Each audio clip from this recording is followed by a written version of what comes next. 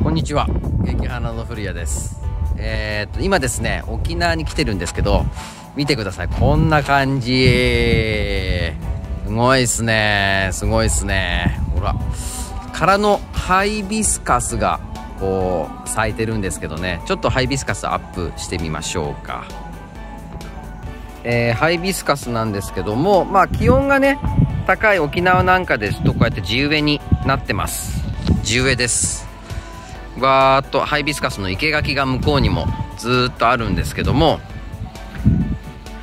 こんな感じ。地植えになってます。で日本だとあの東京とかね関東近辺あと東北の方北海道もそうなんですけどハイビスカス冬越ししていると葉っぱが落ちることがあると思うんですがそれはまあ本来の姿ではなくて、えー、温度が低すぎて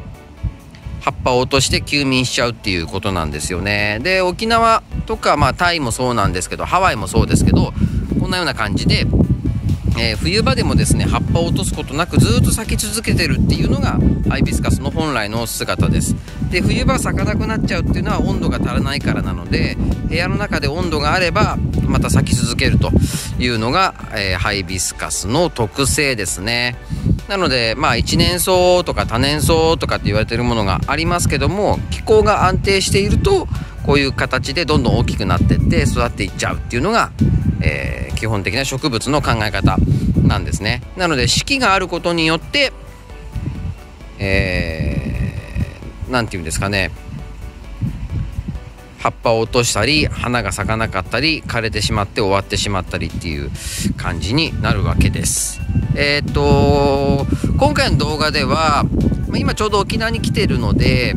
沖縄の植物、えー、例えば観葉植物がその辺に植わってたりとかっていうのが結構多いのでそういったものを中心に紹介していきたいと思います。えー、こちらですね。野生のポトスですね。多分庭に植えたんでしょうね。こうやって木に絡んでツタで伸びていくんですけど結構これから大きくなっていくんじゃないかなっていうふうに思います。野生のポトスほらもうこの辺に。なんで本来は観葉植物って、えー、外にあるものなのでこんな感じで日陰のところに生えてます。あったかくてね、えー、ちょっと太陽の光が遮れるところにあるとよく育つっていう典型の感じですね。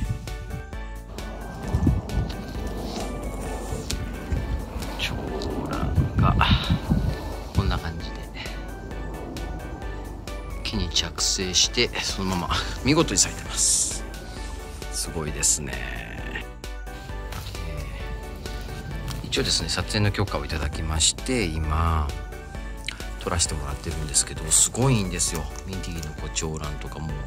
咲いてるんですよね。木にこうやって木に着生して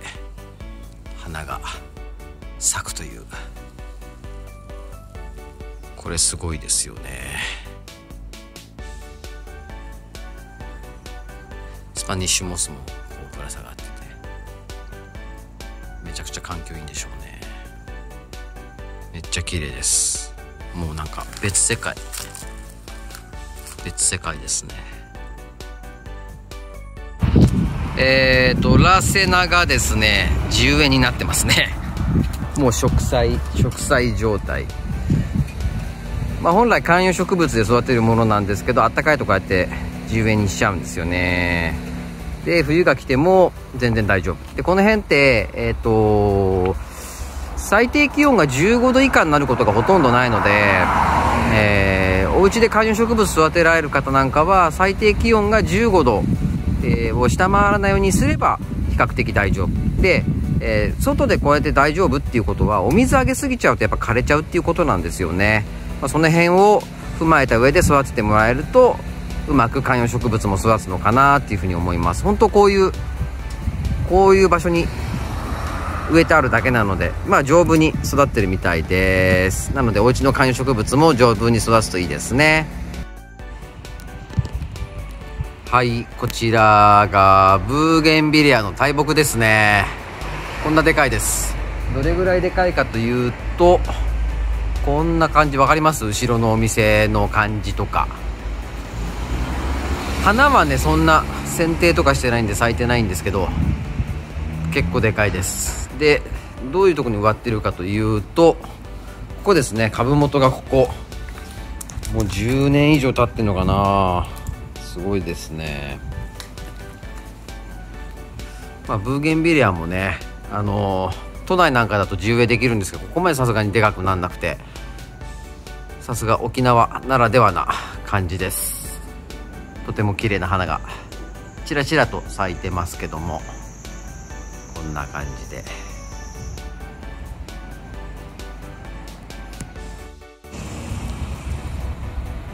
これクロトンですね。クロトンってあの観葉植物のクロトンなんですけど沖縄行くと、ま、こんな感じで地に植わってて庭木ですね。庭木。えー、っとクロトン比較的耐寒性高いので、えー、そうですね。都内だとまあ地植えにしても大丈夫なところもありそうな感じですけどもどっちかっていうとまあ、5度以下には下がらない方がいいようなお花というか、まあ、観葉植物の一つです。沖縄だとまあ15度以下に下がらないケースが多いのでこんな感じでもう植木として飾られているのがクロトンですね。もうもりもりなんか水もあげてないしこんな感じでカラカラなんですよ。カラカラなんですけどやっぱり全然大丈夫ってことは観葉植物として部屋でお水をあげすぎちゃうと根腐れして具合悪くなっちゃう。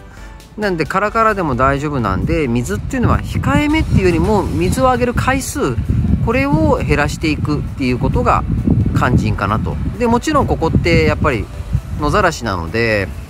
基本的には雨もめちゃくちゃ当たるんですよね。で雨が当たるっていうことは一気に、えー、湿めるっていうことになりますので、えー、げる時はたっぷり上げる。でも上げない時は全く上げないっていうこのメリハリがめちゃくちゃ大事なんだと思います。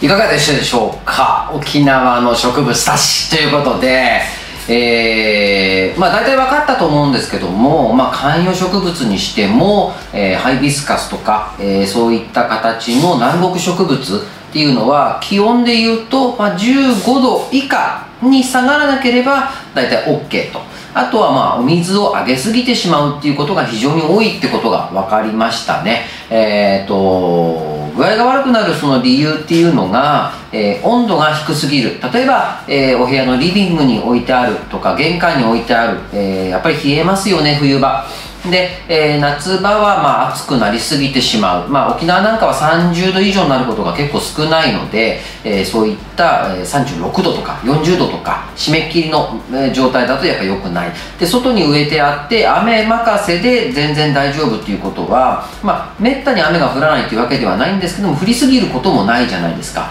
となると雨が降るタイミングってどれぐらいなのかってことですよね。週に1回なのか2週間に1遍なのか、えー、で雨が降った時はたっぷり水が与えられるっていう状態なのでちょこちょこちょこちょこお水をあげる方がいいのかたっぷりあげる方がいいのかっていうのもよく分かったと思います。あとは夏場ですね、えーと、直射日光ガンガン当たってしまって葉っぱが焼けることもあるとは思うんですけども締め切りで風通しが悪い環境っていうのはやっぱり郊外ではありえないわけですよ。でそう考えた時にはやっぱりその沖縄の環境っていうのが、え観葉植物にはマッチしているっていうことを前提に考えるとお部屋の中を同じような環境にした方がいいっていうことになってくるわけですよね。じゃあ風風通しを良くしようと思った時には何をすればいいかというと窓を開けて換気するとかサーキュレーターを回すっていうことが考えられてきます。あとは日光によく当てた方がいいとかっていうこともよくわかると思うんですね。うちの事務所でも観葉植物を育ててますけどもサーキュレーター購入して、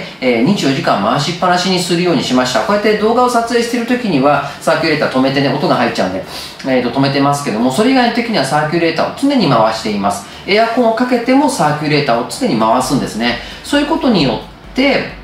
え風通しが良くなって病気の発生を抑えることなんかも可能になってきます。でまた夏場ですね。夏場例えば長期休暇を取るときなんかでも、え、うちはサーキュレーターを回しっぱなしにしてエアコンをかけっぱなしにしておきます。やっぱり、えー、事務所っていう環境柄どうしてもですねあの室温が40度を超えちゃったりとかするんですね。でなおかつ風通しが悪い環境をずっと繰り返してしまって、えー、続けてしまうとやっぱり植物がダメになってしまいます。なので1週間以上の長期休暇を取る時でも土日でも、ね、そのわずか2日間でもエアコンはつけっぱなしで外出、えー、お休みを取るようにしています、え、そういったところからも植物というのはどうしても生き物なので、えー、やっぱりワンちゃん猫ちゃんと同じなんですよね。えー、植物だから強いから大丈夫だろうっていうことで、えー、ゴールデンウィークとか夏休みとか冬休みとか、え、お出かけになられるとは思いますけどもその時はエアコンかけっぱなしにして、えサーキュレーターを回すぐらいのことはやっていただいてもいいのかなっていうふうに思います。